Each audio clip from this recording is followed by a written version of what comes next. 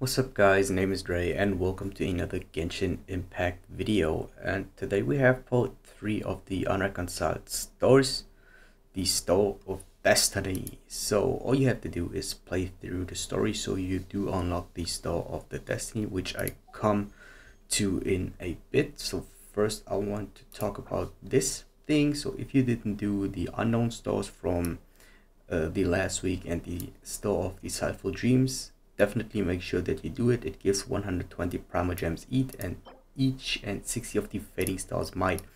Today they unlock the Star of Destiny, so definitely make sure to do this. It gives you another 120 Primogems, 75,000 Mora each, and this new Fading Stars Essence. So this you will need to buy the things in the event shop.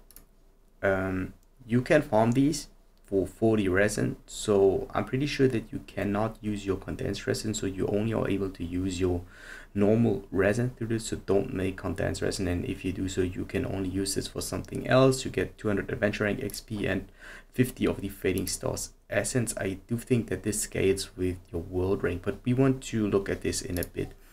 Um, maybe let's take a look at the event shop first before we hop into the event. So i just finished the story quest line after this I want to show gameplay of the new event for the first time. So basically you can get any kind of talent books, um, silver and above.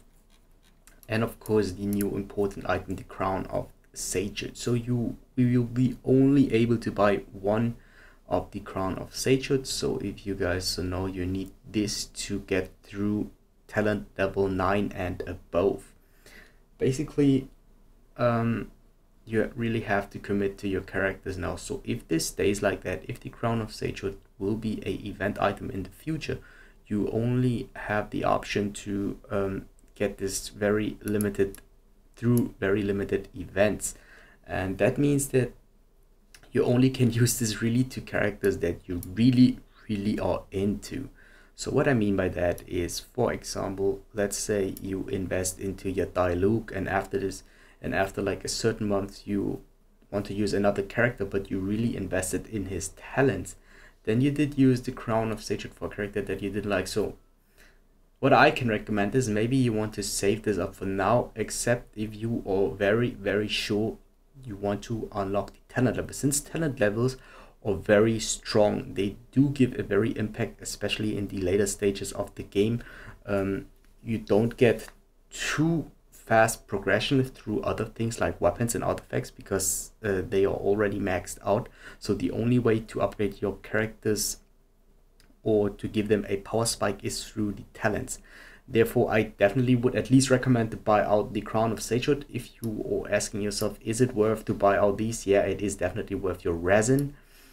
Reason being that is, let's say, four of these and you get per run, you get 50 of the um, of the fading stars essence.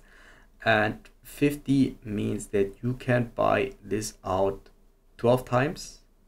Yeah you can buy this out 12 times with a run and that's pretty huge. So if you do a normal run you can only uh, if you do a normal run in a dungeon let's say okay let's say you do a normal run in Forsaken Rift, where today you can find Teachings of Freedom. Usually you get like, if you're lucky, you get like two of the brown ones and two of the silver ones, which are four books at the end, which are like two and two third of the silver ones. So around two to three silver ones. After two runs, you have like five of these silver books. And if we're looking at this, you can get these buy these out way faster. So i would definitely recommend to buy out all the guides all the teachings so all the books. And of course first of all the crown of sagehood if you don't have too much time to clear out the whole event just buy out the crown of sagehood and the talent books for the characters that you need. Um, maybe the mystic enhancements ores because you only do need one of these. So i also do think that they are actually worth to buy out since uh, weapons do scale a lot harder as soon as you reach world rank 7 so as soon as you reach world rank 7 you do need very you do need a lot of these. And i do really mean a lot. So you do need like over 370 to get your level to get your weapon from level 80 to level 90 so i definitely would stock these up for now if you are like adventure rank 45 or above. And yeah that's already it for the shop. So definitely buy out this but maybe you want to save this up except if you do really have your favorite character already. And let's hop into the event. As I said this is the first time that I'm doing this so let's do this in co-op already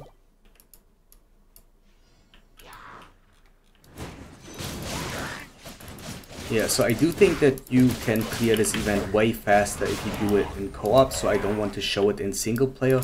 It works basically the same as the Elemental Crucible event. If you guys don't know the Elemental Crucible event, uh, it was the event that you uh, was able to... It was the last event that has this kind of co-op.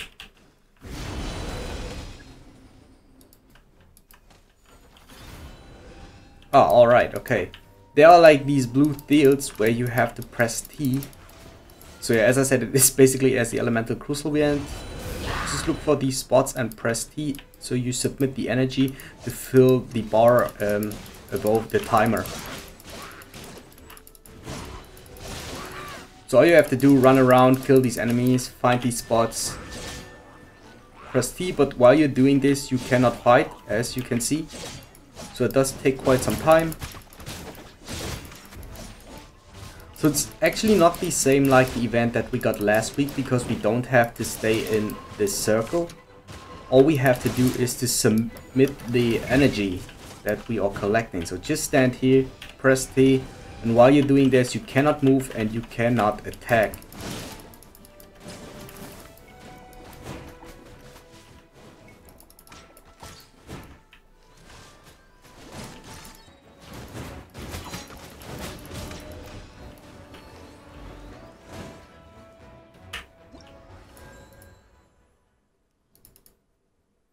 Okay, so we just finished the event.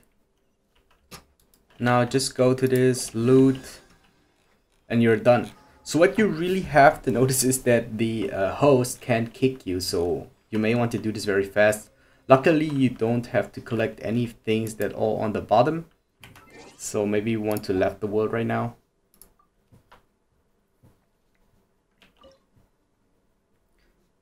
Yeah, so what I just wanted to say is that you have to be very fast after you clear the event. The host actually can't kick you so you may waste some time. So what I would recommend if you do this in co-op and it is it is not in your world try to loot this as fast as possible after you clear the event.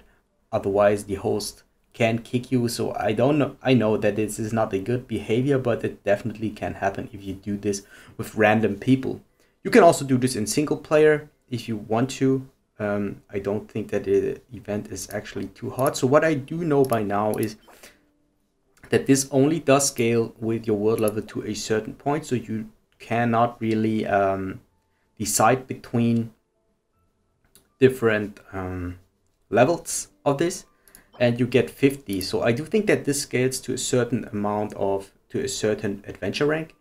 And let's say if you're like adventuring 20 you definitely don't get 50 of these. I do think you get way less but it does scale. I don't know the exact scales for now because i am adventure rank 47 uh, but what i definitely do think is i do think like the peak will be around 35 or 40 so if you can play with a player at adventure rank 40 they have a lower world rank than you. If you are like the same rank as me so if you're like around 45 plus you definitely can go for people that are adventuring 40 and then you get the same amount of these stars but with enemies that are only world level 5 so you have enemies that are easier to fight but you get the same amount. So i definitely recommend to do this in co-op with players that are a lower adventure rank but that have the rewards at the maximum. Yeah um, i think that's all that i have to say for the fallen star event uh, if you guys enjoy, subscribe to my channel for more Genshin Impact content, and I'll see you guys next time. If you guys want to see more Genshin Impact content, videos should pop up on the screen right now. Make sure to check them out, and I thank you for your support.